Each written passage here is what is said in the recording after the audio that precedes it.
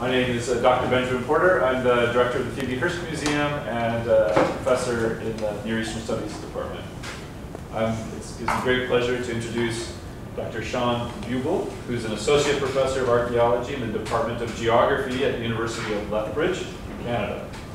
She holds a Bachelor of Arts in Archaeology, Anthropology, and Geography from the University of Lethbridge, a master's degree in Eastern Mediterranean Archaeology from the University of Leuven, and a PhD in Archaeology from the University of Leuven.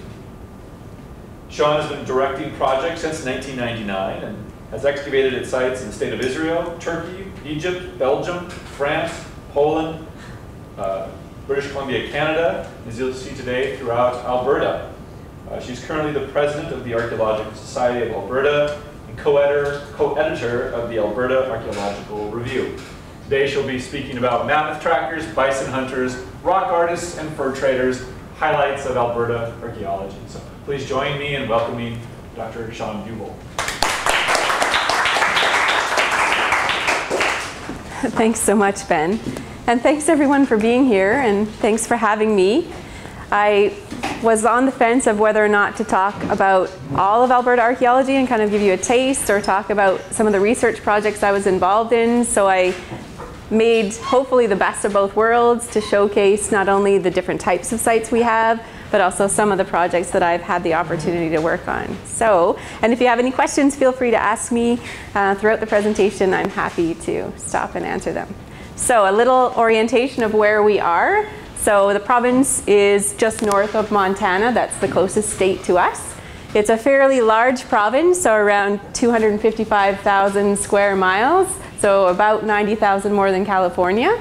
Um, from north to south, around 800 miles if we want to drive it. And so sometimes I get to and I drive, I live in the very south, so Lethbridge is about here, and some of my projects are in the very north. So it takes a couple of days to get there and to start those projects. And I've had the opportunity to work throughout the province, but those are more contracts that I uh, do with the consultants. But I'll showcase Southern Alberta and a little bit about Northern Alberta too. And this is a map that Eric Damkjar made. He's from the Archaeological Survey, so everything is run um, by an agent, an agency in the government, and so we send all of our documents and all our reports to them. And they've created this master map of around 40,000 archaeological sites throughout the province. And you'll see kind of hot zones in the south. That's where most of the population lives, and that's where most of the industry is happening. So of course, many of the archaeological projects are tied to the industry. And then up north, you've probably heard about the area like Fort McMurray, which is that highlighted red zone there. So lots of oil and gas. So we have a lot of sites being recorded because, again, of the industry. So yeah. So we'll go from south to north, and then we'll showcase the different sites in between. So I thought I'd start with a fairly small site. This site's called the Taber Child site. It was famous in the 1960s because um, the archaeologists that worked on this site thought that it was the oldest site in North America. So at first they suggested a date of 60,000 years. Eventually that was revived, revised to 40,000 years, and then a reinvestigation decades later showcased that that site was actually not at all that old. So we know now that it dates to around 5,000 years ago, but at the beginning, southern Alberta was one of the places that people were looking for evidence of populations arriving in North America and establishing themselves in our continent. So kind of the landscape you can see there, and the site itself is on the side of the cliff, embedded and um, enclosed kind of in these mud deposits, which we now know was the case at this particular site. So I do, the research that I do there is more monitoring, just to make sure that the site stays intact and is preserved for future research. One of the sites that I do spend a lot more time on is the Wally's Beach site. So here, this is a site, again, not exactly ideal conditions, but it's one of the best sites that we've got. So in 1951, we constructed a dam called the St. Mary's Dam. It's on the St. Mary's River. And it flooded the area to create what we now have is this big lake. Um, when, the, when the lake gets used by the farmers, it draws down and basically exposes this huge area. And then with the winds of southern Alberta, we have a deflated zone, lots of archaeological material popping up and being exposed and then being hopefully collected by the right people. Sometimes that's a bit of an issue, but um, that's for another time to talk about.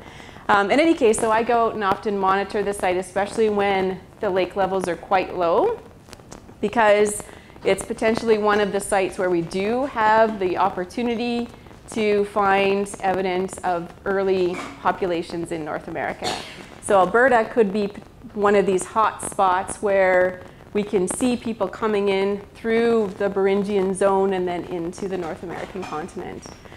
So here you can see when the lake levels are high, the site's fairly well protected, but as the lake gets drawn down, we can see the exposure of the sides of the shore, and then eventually to the point that we have very little water at all, and then the winds start blowing, and go out and survey, and then you can find amazing things like mammoth footprints just sitting on the surface. And they don't last for very long, so this is why I'm often out there when the conditions are right, because in 48 hours sometimes there are no more footprints to be seen. So that's how quick everything gets deflated.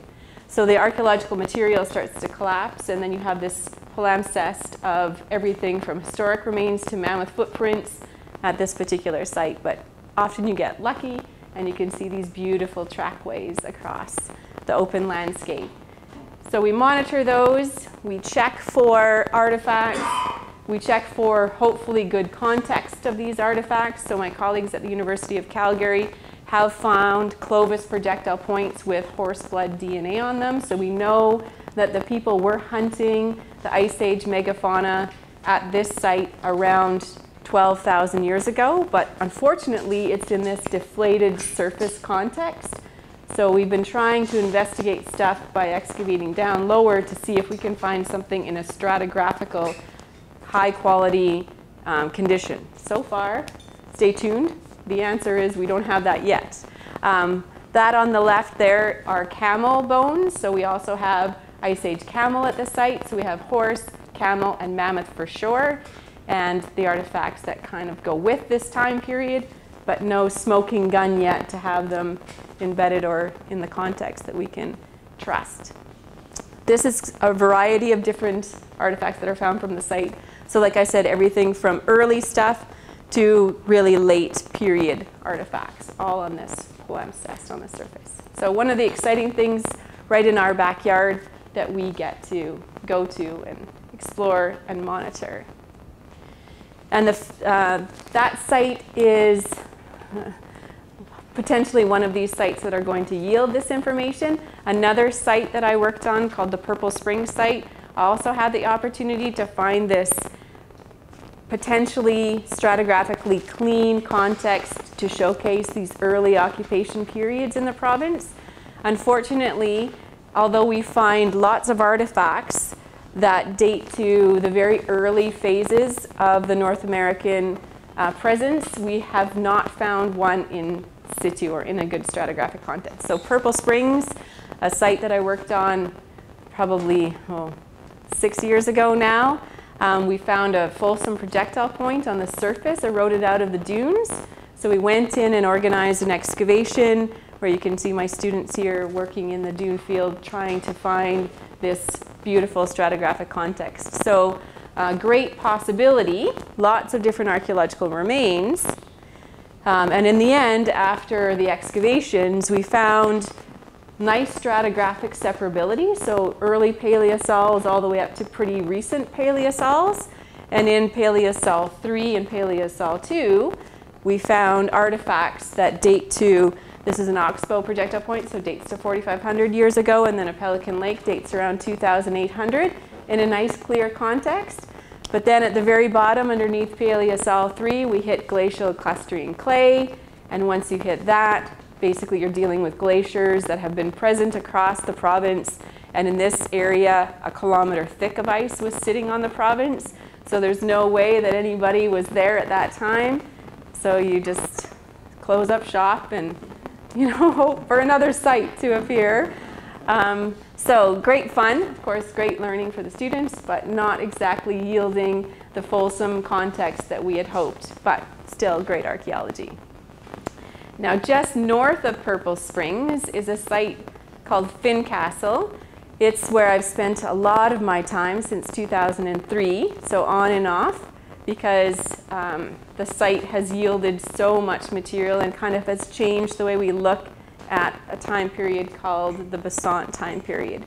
So a little bit of landscape context. So again, in a big dune field, so lots of deflated zones, lots of exposure, artifacts being eroded and being exposed. I started the project thinking that this was going to be a very short project. So I went in in 2003 to survey the area because it was being unfortunately looted. Uh, I am still working on this project. It has not stopped since, uh, just because of the material that has come out. So there you can see us surveying the area that was being looted here and getting a sense of what the site could potentially yield in terms of the archaeological remains. So this was in 2003. You can see the deflated zones there from the winds exposing the sands. And this is us looking west. So this is the top of a parabolic dune which surrounds the site. I'm going to come back to this in a little bit, but you can see here, this is all dune field.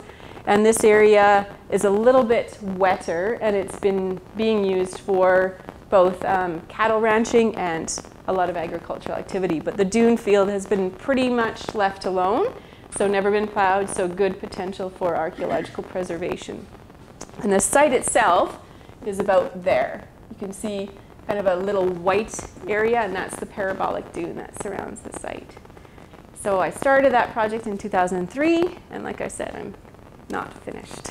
So here you can see the dune, um, just my base points around, and I've divided the site into what I just call the east area and the west area. Um, they're basically linked, but because the site is pretty large, I had to focus my teams uh, depending on what I was working on at that particular season. And the site extends into this area too, but this is leased by a different land um, owner, a rancher. So we've concentrated here, but we've surveyed all across that whole area. So one of the first things that I did was I modeled the topography, so created this um, digital ele elevation model just to showcase the parabolic dune in its um, extent. This parabolic dune, as you'll see later, um, post-dates the site, so was an interesting discovery. Uh, in any case, so I've expanded the excavation area across this entire about 130 meter area of that part of the parabolic dune. Around 133 square meters have been excavated between 2004 and 2012. And I still need to work on the east area here and expand this block a little bit and finish that up. But that's why I say it's not yet finished. But and there you can see some of my students. Most of my projects I run as archaeological field schools. So there you can see the students excavating. Um, here you can see the faunal material very close to the surface. In other places at the site, it's buried quite deeply. One of the signals that the, the dune was post-dating the site. Um, but there you can see the students excavating, reaching the bone bed, and then recording that information. So yeah, so a lot of bones. Excavating a bison kill site, well, you, uh, you get to learn your faunal material quite effectively. So here you can see the students exposing the bone bed. Um, everything was screened through a 1 8 inch mesh. I was really lucky there because I had sand. So I could pull out the micro debitage and really think about resharpening, use of the tools, etc. So this was a great um, thing that I could do at this site as compared to some of the other sites I work on. But, and then of course, recording all of that information. So some of the results I'll highlight now. This is one of the maps from the east area of the site, so you can see the density of the faunal material. So we recorded um, each faunal remain as best we could, right, assuming that it was identifiable, and, identifiable in more than five centimeters in length. Um, all of the debitage is recorded three-dimensionally. Uh, of course, the stone tools, the fire-broken rock, and then lots of um, collection of the burnt fragments of bone within that one by one meter resolution. So one of the maps made in GIS, and here you can see just a summary of the artifacts that have been recovered from that site so far. So around uh, 15 16,000, 16,000 bones had to be identified to the species, the element, the portion, etc. Um, several of them were tiny, tiny bone fragments that were burnt, so that gives us the 250,000, give or take, burnt bone pieces that were all counted, cleaned, and then lots of, of course, debitage and artifacts and things like that. One of the things that became very clear at this site is that we have an initial kill, so because we have projectile points, but we also have carcasses that are still in more or less um, complete articulation, or at least portions. So of those um, analyses, was able to determine there, that there were at least 63 bison that were killed at the site, and this was done as a one-time event, and they were probably in and out in less than a week. So organized, hunted, butchered, and then back to their base camp.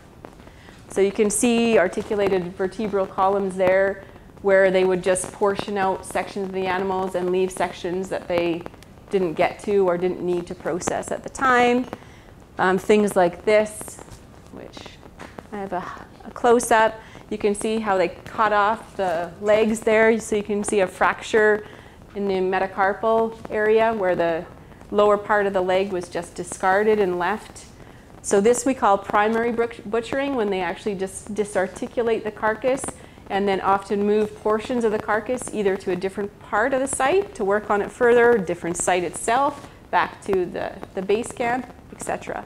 So at this site, we have both the primary and the secondary butchering that's happening. And so we can see things like marrow extraction, so lots of removal of those marrow components out of the long bones. Um, we see things like um, concentrations of the lower limbs discarded, but in other cases, concentrations of some of the fragments into what you'll see in a minute, boiling areas to render the grease. Um, mandibles clustered together. This is in a one by one meter unit.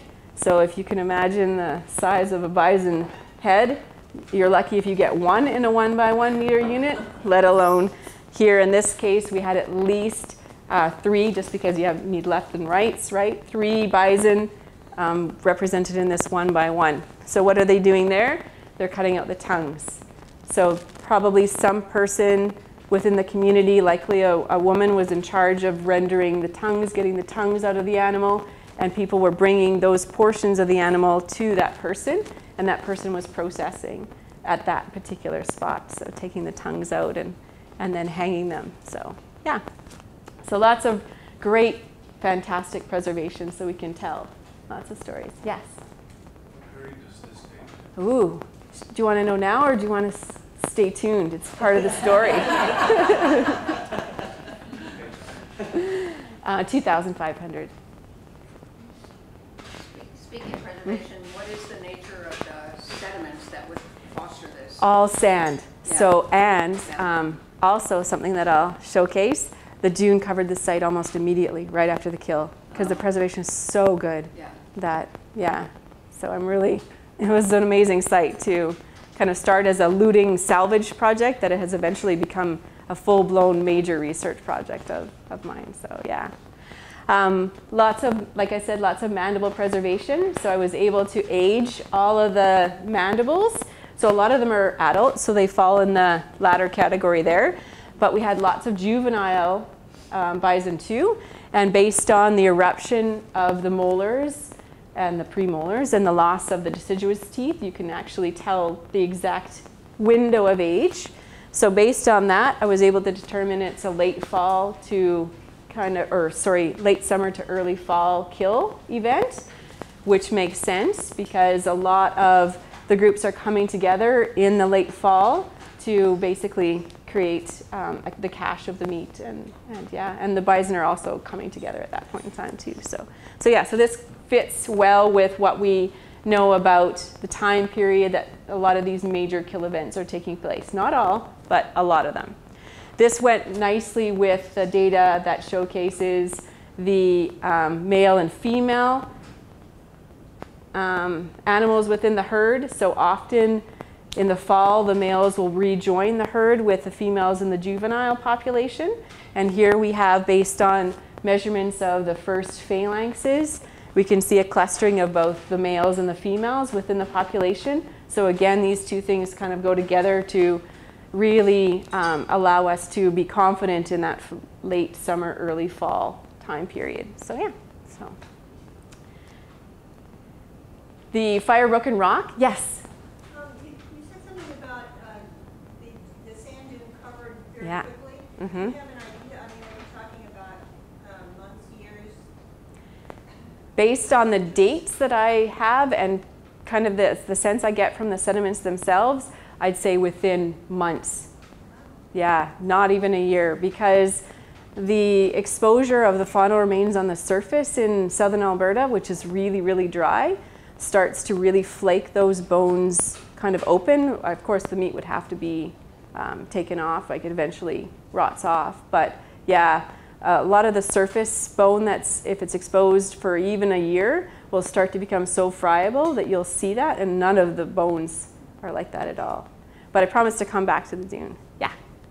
How far away is this from the um, smash head buffalo? Oh, very close. And I'll talk about head smashed in too. It's about 100 kilometers, so 60 miles to the east of head smashed in. And they would have been using a lot of these sites at the same time. Yeah. It all depends where the bison are. So, head smashed in was never used every single year. It's used when the conditions are right for that site. And when the conditions are right for another site, they would be at a different site. So, yeah. So fire broken rock, again, not very exciting, but when you look at the fire broken rock in combination with the burnt bone and with the um, bone that's been smashed open to get the marrow, you again sort of see these locations of grease rendering. And grease rendering is really important because um, basically you use boiling stones and you put in the, the bone pieces, you get the grease to float to the surface, you scoop off that grease, you mix the grease with berries and dried bison meat to make the pemmican, right? And then that gets you through the winter time. So a lot of these late fall sites will have lots of fire broken rock and lots of evidence of the boiling and the production of the actual pemmican at the site. So yeah, so we see highlights in the northeast section of the sites where you can see these pockets of activity in combination with other things. Um, lots of the tongue removal is happening in this part and sort of the upper areas where they're boiling and working on the secondary processing of the bison.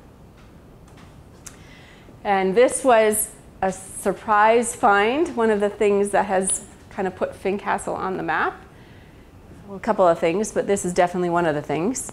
So as we were excavating through those really clear bone beds, we would think that we would be finished with the bones. Everything would be mapped, and then I'd have the students go down at least another two um, excavation levels to make sure that we're cleared off, right? So you want to make sure you have stratigraphy underneath that to really contextualize those remains. So we would go down for another five, another 10, another 15, and as you're thinking that you're almost finished, then you hit the faunal remains underneath that. So these were always both exciting and right. you, you, you're with me. um, so here's a pretty good picture of one of those cases where the bone is all here, and then this is the top of a metapodial that was shoved into the ground. Now, when I first discovered this case and that case there, I had thought, well, maybe uh, a bison just kind of got stuck and then they just chopped off the leg and left it behind, right? It could be just one of these fluke situations where this is the case. Um, but I've now found 12 of these, and they're all in a very kind of consistent context. And that context is um, the bones themselves are sitting right on top of a glacial lacustrine clay bed, but then the upright bones are actually pushed down vertically into the clay itself. So, no evidence of a pit structure. They're not scooping out the clay to put in the bones and then covering it back up. Um, something else is going on here, which I'll show you in a minute. So, first, I want to highlight some of these beautiful features that we've discovered. So, a lot of them have mandibles or a combination of mandibles and scapulae together. So, here you can see a mandible and a scapula side by side. Sometimes um, upright metapodials or a combination of metapodials. So, these bones here, um, that's that case there. This is a carnivore skull, actually. So, some wolf likely was at the hunt and they put the skull of the canid down inside there. Um, this is an upright with three scapulae placed in a vertical orientation. Um, this one is a combination of bones. Obviously, they don't normally go together. This is the uh, axis, so it's on the top, and this is a mandible, and these are bones from the feet of the bison. And this one here is the most beautiful. And this was the, one of the ones that appeared in Archaeology magazine and also is in kind of a few articles. So there's the top of it. So there are uh, four mandibles and a tibia placed all in um, sort of an out fanning position. So, um, and all of this was covered. So the bone bed is taken off, then we hit the clay, then we dig through the clay, and then we see the top being exposed, and then of course we section that and expose the feature itself. So, what are these, right? Um, you of course don't want to go to the they're ceremonial right away, although we're tempted. Very often. yeah, exactly. If you don't know what it is, it must be ceremonial. um, but um, putting everything together, so um, they could have been pegs to tie down the hides, to scrape them. They could have been part of the boiling features. They could be part of a number of utilitarian functions. All of these, which are well documented at many bison kill sites and other types of processing sites, all showcase a location or a position in connection with the surface that they're working. But in all of these cases, the surface was never part of where the bones are. They're clearly pressed down into and underneath the working and walking surface that the people were engaged with.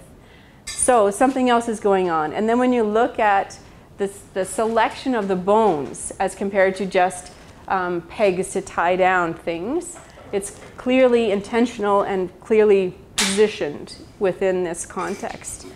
Now there are some parallels which we see in North Dakota at a few sites that date to a thousand years later.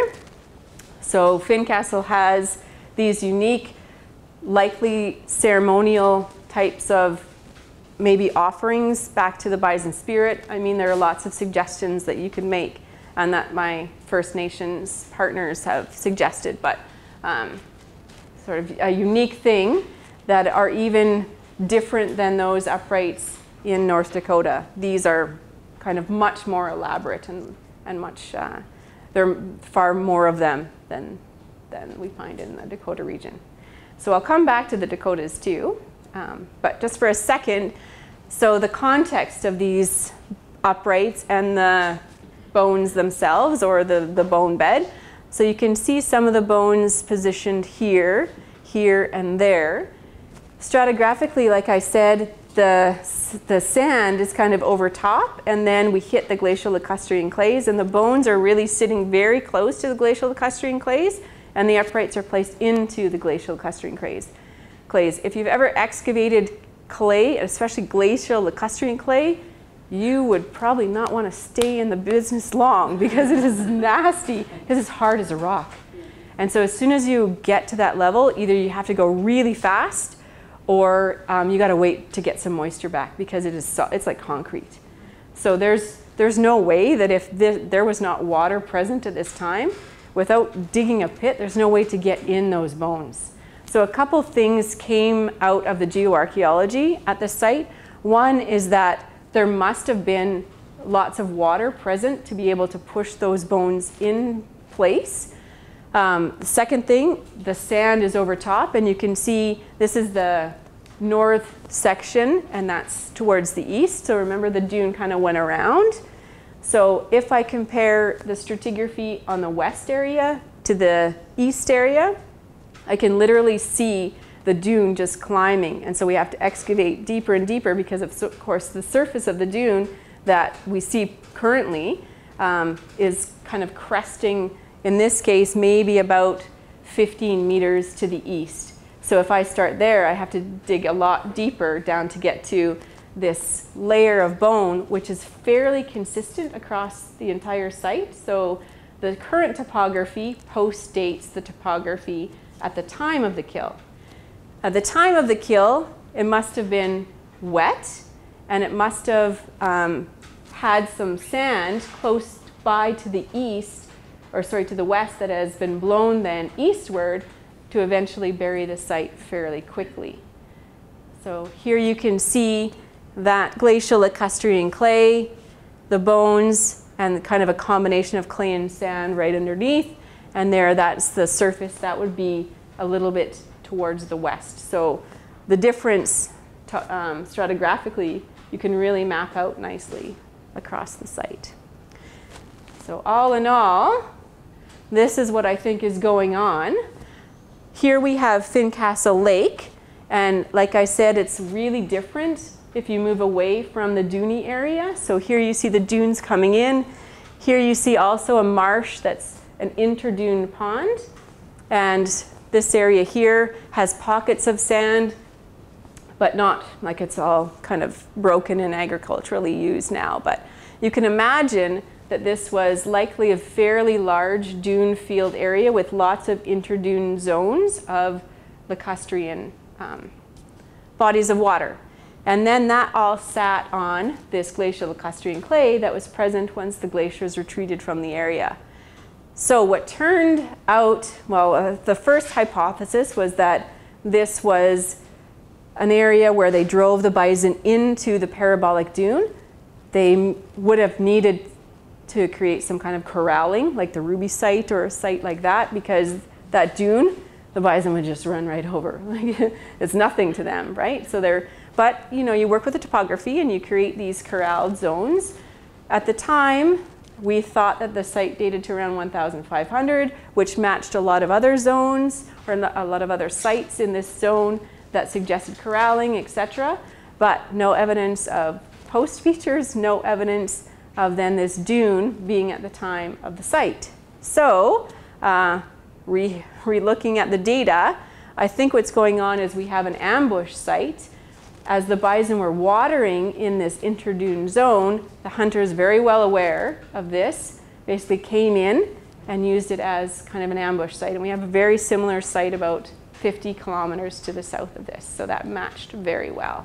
So, and that makes sense with the uprights too, being able to be pushed down into this wet glacial clay. So, And in terms of the dates, this was a little bit of a surprise. So we took bets actually, because the projectile points were very clearly from a single time period. The bone bed was nice and crisp stratigraphically, so a really good single event snapshot in time with the, the good um, preservation of 133 projectile points. It seemed kind of a closed case in terms of the time period. So the, the guess was around 1500. The radiocarbon dates on the bones all came back a thousand years older, so 2,500 years ago. And then I was not just satisfied with that, so I did a whole series of OSL dating. Here is the glacial lacustrine clay, here's the bone, and here is some sand right over top. So you can see that I'm ranging between, this is the clays, so dating to around 2,900, and this is the sands over top 2,000 years ago and the bone right in between. So those two dating methods corroborated the 2,500 year, which was a bit of a shock, right? So you want to make sure that your stratigraphy and your dates kind of make sense. So all of that together with the projectile points made me re-examine the nature of the site and re-look at what's going on in the northwestern Great Plains. So you can see the variability. I, am showcasing these beauties here because they're made out of Knife River flint.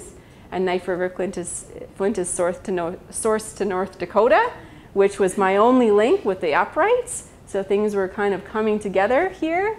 Now, unfortunately, I'm going to skip that. Unfortunately, um, North Dakota sites with the few uprights that we've got date to, like I said, 1500, 1200 years ago. So um, are Fincastle hunters coming out of the region of North Dakota, coming into the area of the Northwestern Plains?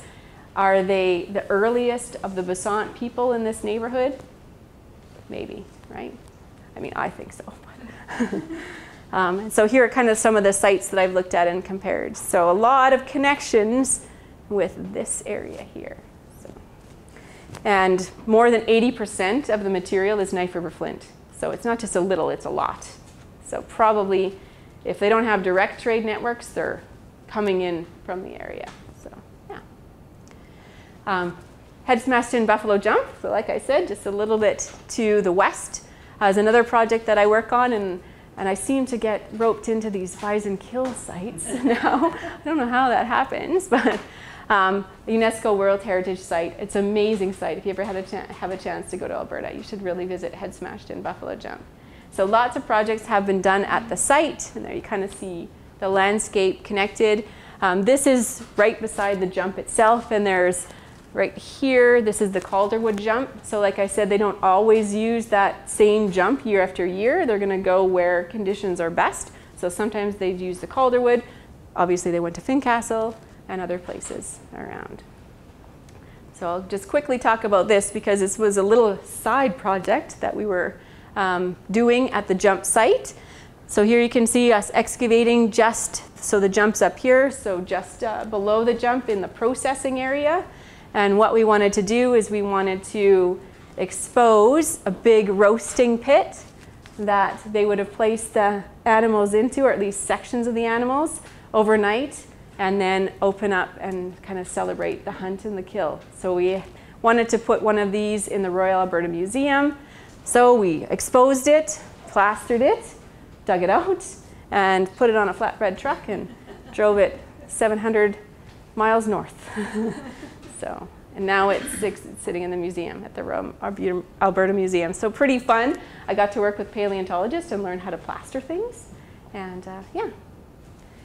And one more bison kill site quickly, because there are a lot of them, but I wanted to showcase these because it's not just about these jumps, it's about the different strategies that the First Nations people use to hunt the bison. So here you can see the bone bed eroding out of the side of the cliff, and this is the Twin River site. So lots of erosion and exposure of many of these types of sites. So what we did there is we did our best to collect what we could, and again, it's not a small quantity of material coming up, um, but a really good showcase of more of the corralling method. So um, funneling the bison into enclosed spaces and then trapping and hunting them there. So. This site dates to around 650 years ago, so it's later than the other sites. And writing on stone, also a UNESCO World, well, hopefully soon to be a UNESCO World Heritage Site. Um, again, so like I said, lots of river erosion and exposure. So this was a bit of a fun project in that we had to surface survey in the water, which was exciting. So there you can see my students collecting the artifacts and the, mostly the fauna remains from the site itself. And the site is eroding off of this surface here. So not a jump, but likely a corral as well at Writing on Stone. And then you can see some of the material. So, and then that's the probably the bone bed location. So we'll have to open it from above and start to excavate down. I wanted to showcase this site because a lot of the work that I'm doing right now at Writing on Stone is focusing on the rock art rather than the bison bone itself, but because many of these sites have multi-functions or multi-activities going on, you get the, the best of all of these worlds. Um, so the rock art is exposed on these beautiful sandstone panels, which are exposed to the wind and lots of erosion. So what we're doing as part of a monitoring program is we go to the different panels, we record the rock art over and over and over again to study the erosion rates and to see what's happening, and also as a way to preserve the records of the site um, because they're gone after a certain amount of time. So I wanted to show this, show you guys this because you can't really see anything. Um, if you really squint, you can see a circle that's representing a teepee and there are figures inside. Um, that's what the surface would look like if you don't know what you're looking for. Um, but there's paint, there's petroglyphs, and these are some images that were done more than 100 years ago, and they're in the Glenbow archives. So you can see the paintings and the, and the in this case, the petroglyphs, but they're also pictographs. So yeah, so we monitor a whole series of panels every single summer, and then record that information in these big uh, databases, and there are some uh, pictographs too. So one of the things that we're up to. Now that site is tied to another, probably ceremonial site called the Noble Point effigy. And so here you see a figure on the ground. And so we have several of these figures in Alberta. And we, we use the collective term effigy to refer to both the Napi effigy, the creator effigies, and the animal effigies, and then sort of the narrative effigies. This is none of the above, which was also really, really fun to discover. So we mapped it out. I did a lot of um, assessment, not just of the site itself, but of the materials being used. And then really wanted to look at, well, what does it best connect us to? Um, so these are the Napi effigies. So lots of rectangular bodies, um, heads almost always facing the west, um, penis, these things exposed, Napi the creator, as the stories told by the First Nations, laying back and being happy and admiring his work that he's done at that particular spot, right? Relaxing and enjoying himself. Um, there's a, a, figure of a turtle, so that would be the, um, the, the, the animal effigies, and then the narratives are like stone cairns and stories behind. So this didn't really fit with any of those things. So my work at Writing on Stone was fun because then I started to tie those things together and the effigy at the Noble Point looks a lot like the shield-bodied warriors that are present in the rock art. So we don't, we can't date the Noble Point effigy, but according to sort of some of our dates from the rock art, it probably dates to the end of the late prehistoric time period. But we have no other parallels to this effigy site. So kind of a new and on the map site type. Oh yeah, some more Napi effigies. So those were all in southern Alberta. And now I just want to pop to the north for a little while because that's where I get to do the late historic stuff. So the fur trade project and that Robin was on last summer. So Fort Vermilion 1 was occupied around, well, established at seven, in 1798 occupied until 1830 when that site was moved downriver. So this is the Peace River in the northern part of the province in the boreal forest. So a completely different type of archaeology um, and just as fun. So you can see us arriving at the site, the density of the bush. So really, really tough. I need to make sure I know where my students are all the time so they don't get lost. And, and then, uh, then, yeah, so us First, we have to clear the site, then eventually we establish the excavation units, and then, yeah, expose the, the material remains that we can. So here you can see the students excavating. This is the Boyer River Post. So this is just downstream of Fort Vermilion 1. So I've kind of combined these because they both represent the early European move into Alberta. So we're quite a bit later than what's going on in the United States. So our earliest site is the Boyer River Post, and that's 1798, and then Fort Vermilion right after that, and then eventually the Europeans kind of establish themselves throughout the province. So everything is happening in the north first, following the fur trade line. So, yeah. There we are. Excavating. So lots of exposure of the fireplaces, big cellars, of course, full of archaeological materials. Um, other things like palisade walls. So here you can see beautiful stratigraphic sections of all of these cuts. You can see the beams still preserved. And this is the boreal forest, so you'd think like based on the moisture, lots of trees, lots of acidity within the forest, but because it's buried under lots and lots of silt layers because of the flooding of the Peace River, we have fantastic preservation, including even the floorboards of the houses. So yeah, so pretty cool. Yeah. So what we were able to establish is based on the architecture, we have evidence of what's called post-in-ground construction. So it's when the early fur traders in the area dug the pit, placed the post into the ground, and then created the sill, and then all of the, the beams of the, the homes on top of that.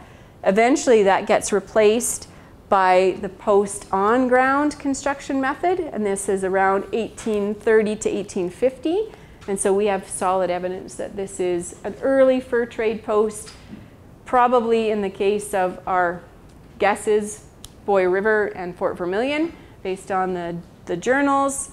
Um, but there are lots of sort of things to still be clarified at these sites. So anyways, some of the stuff that uh, we've discovered. So as, Robin, as promised, Robin finding uh, uh, one of the material remains. So lots of jewelry, lots of, of course, European goods coming in, axes, uh, pocket knives, knives, kettles, etc. And then lots of connections with the First Nations, right? So using the trade silver, putting them on the garments, lots of beadwork, lots of even beads still in situ, so we can see the color choices of the beadwork and the, the beads being used. So lots of great preservation. And then kind of full circle back to prehistory. So one of the things that we did this summer is we surveyed the Gull Lake site. Again, hoping to find one of these sites that showcase the early peopling into the Alberta province. Um, we found great artifacts, all unfortunately exposed on the surface. Everything from really, really early artifacts dating to probably 9,500 all the way to Métis cabins still standing on the site. So exciting because Winchester and then projectile points just sitting on the surface. Yeah. So yeah. So pretty fun stuff. And hopefully that's a little bit of a taste of what's going on in our province and uh, one of the sunsets that we got to see this summer. And this was base camp. So yeah. So thank you.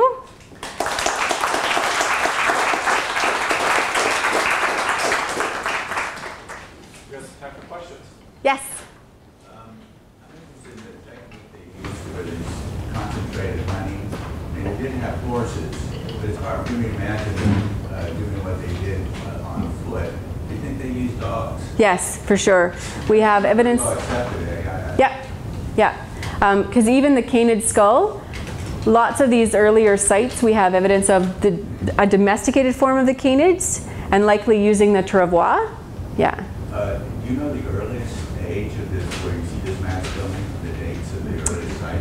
Of the, the bison kill stuff or? Yes, or any mass killing? Yeah, in the province, probably our earliest site is actually not with bison, it's with uh, sheep, mountain sheep, and it dates to around 11,000.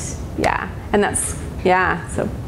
And then, of course, the bison stuff will come pretty shortly thereafter, at least the sites we've got. We assume at the very earlier time periods too, um, but likely not in the, at the end of the ice age, so that's probably still isolated mammoth hunting, um, horse hunting, camels, etc. That was probably all kind of an isolated kill event rather than a collective event. And then once we move into the later Holocene time period, then things are pretty quick. So, yeah. Yeah. Thank you very much, that was interesting. I wanted to ask about your first site that you dwelled on the most. Um, I can't remember the name of it. Fincastle? Saw a lot of other sites after that, but um, you said that the preservation was really good, it was in sand on your, Yeah. on your um, glacial Yeah. clay. What kind of plant remains were you finding there? Oh, that's a good question. So um, I thought that I'd had even some preserved bison patties with plant remains inside. That turned out to be a sort of later stuff because it was on in the eastern part of the site that wasn't as low as the other parts. Um, so I, I didn't really trust it to be as old as I'd hoped. Uh, in terms of the kill event, once I get stratigraphically low enough, not a lot of plant remains we were able to recover. So either one of two things. Um, as that wind is, is whipping in, a lot of those more light, friable remains, probably a lot of burnt uh, material is being blown out. And so maybe I'll find it a little bit to the east as I dig in that section, or the preservation isn't good enough to have the. So there was no charred wood or anything? No. They- Well, how did they burn their, their, how did they process the oil? with dung. Okay, So so the- dung has seeds in it. Yes, exactly. And I don't have any of it preserved enough. Um, I have the burnt bone to kind of showcase where that's happening, but none of, like, no ash or no sort of, yeah, at that particular spot. But we know that they're using bison patties as fuel for the fire. Yeah. Yeah, but unfortunately, like nothing that I've seen so far. But I, I mean, I have tons of sediment samples that haven't been processed yet. So of course we will look for these plant remains and fingers crossed we'll find something in there. Um, it'll likely showcase this open plains landscape, but still, right? Good, good to You know. mentioned berries. Yes, yeah. This is an assumption that they are gathering the berries probably from another spot towards the river. The river is about four kilometers north of the site, so probably collecting the berries in this, these more um, riparian zones and then bringing it to the, the kill spot, yeah. But we should find some. Hopefully we should, yeah. You had a lot of firecracked rock. We um, did. And is, is it locally available? Did they have to bring that in? Yeah, so in this case, they had to bring it. So they had to walk those four kilometers or at least gather it from someplace else. That's the same thing that we see at Head Smashed In. So Head Smashed In is on a cliff face and it's sandstone, but they deliberately walked to the um, alluvial plains Right. to collect the quartzites, to bring the quartzites and the granites Yeah, rather than Yeah. the sandstone, because sandstone just falls apart. Do you So. weight, total weight for all the firecracked? Oh, I, I don't, but I, I mean, I do uh, in the database, but Right. I've never Well, actually. It would make a great story, you know? Yeah. You brought in the- So many tons. I mean, Especially if it's a, you know, single event. Yeah, uh, Kill, what they did in order to. Yeah. process it. Yeah, So exactly. there's the kill, but then there's all the other stuff that has to go on. Yeah. To make the results of the kill usable. And Yeah. that, of course, is going to involve a much wider community. Exactly. So in some ways, rather than focusing on what everybody presumes are the men who are out there killing, Right. that's the big deal. Yeah. You know, you got to think of the whole community mm-hmm. and what they had to do, collect, even collecting the dung. Yeah, to- exactly. To do that, and then as you mentioned, the processing yeah. as well. So it's a much bigger story. I know, and I played a little bit with the uprights, um, whether there were kids playing Right. and like making these things while everybody was doing other stuff, or the kids collecting the rocks. Like you go down to the river and you bring up the rocks, right? And yeah, so that's it's you're right. It's the whole community Yeah. engaged in the process. Yes. You mentioned uh, briefly First Nations consultants. Do you Yeah. also have First Nations students digging out there with you? You bet. Yeah, we have a lot of First Nation students at the University of Lethbridge. We're really fortunate. So, yeah, yeah. So just thinking about these uprights and just your bones, it's like a zooarchaeologist. journey I know. out there. But, uh, I'm like, Or nightmare. yeah, right. But um, just in terms of the trying to figure out what they were, how they were placed and when, based on the sort of timing of the, um, you know, processing of these things. I know. Obviously, like a metapodials put down into the ground had to have been processed already Yes. because otherwise you'd still have the toes stuck to them. Yeah, exactly. This is obviously not something they're doing right when they start the Right. the process. They would have had to have gone through all that sort of disarticulation. Yeah. They Used older bones, but even then those would break or. Right. So it's, that helps target like maybe when they were doing this. Mm-hmm. It wasn't something as a prep for getting ready for the process. Right, especially because the the bones are really mixed and kind of underneath the bed itself. So it's that um, deliberate offering afterwards or some sort of activity. I mean, we have um, lots of First Nation stories about the offering to the bison, giving back to the bison, um, like the Anishkum and things like that, where maybe there are parallels, but it's a lot older than any of the more recent sites and stories. So, yeah. But yeah, you're right. Like they would have had, like, did they take the mandibles from the place that the person was processing the tongues and then collect those mandibles and then go and place them here? They, they would have had to, or else, you know, everything is still impossible to get apart, right? With all the Exactly, yeah, meat and the hide and the fur and, yeah, yeah. Yeah, it's not at all comparable, but it might be an interesting thing in um, the late Paleolithic in uh, southwestern Europe. Uh, They've now located that in many of the cave sites that have the cave art, there's all sorts of bones stuck in the floor. And I could give you a reference. Hmm. Yeah, that'd be on great. Bones stuck in the floor uh, in about 13 to 20 different sites in the southwestern part of France. And they also were sticking them into niches in the cave walls because there they are and you don't have cave wall niches, but you know, but Right. doing something Yeah. with bones. Yeah, there's something going on, in yeah. a site that was uh, bone processing. so Right. just, there's, there was just something about make, make, making some sort of connection through the bone to Yeah. the, the floor. Yeah. I'll give you the reference. Oh, that'd be great. Thank Yeah. you. Well, uh, let's give uh, Shawn a round of applause. Yeah. And again, thanks for having me. Very interesting, expanding our horizon.